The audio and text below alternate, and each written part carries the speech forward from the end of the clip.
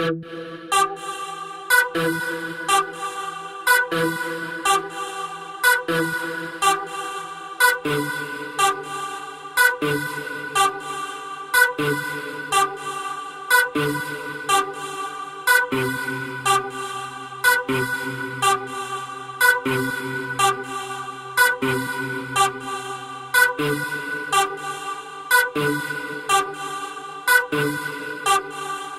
what you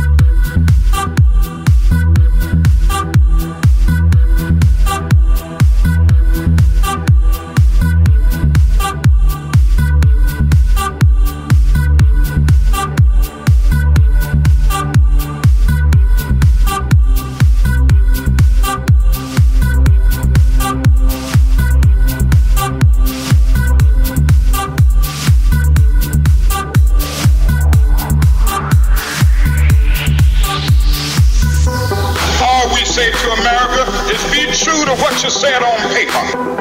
I lived in China or even Russia or any totalitarian country, maybe I could understand some of these illegal injunctions. Maybe I could understand the denial of certain basic First Amendment privileges because they haven't committed themselves to that over that. Somewhere I read of the freedom of speech.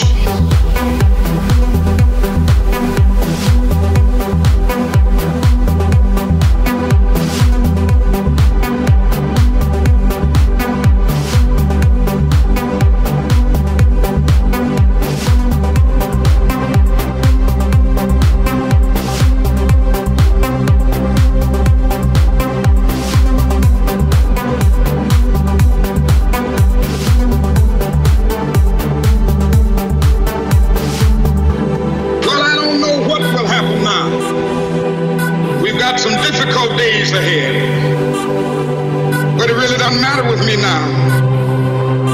Because I've been to the mountaintop. I just want to do God's will.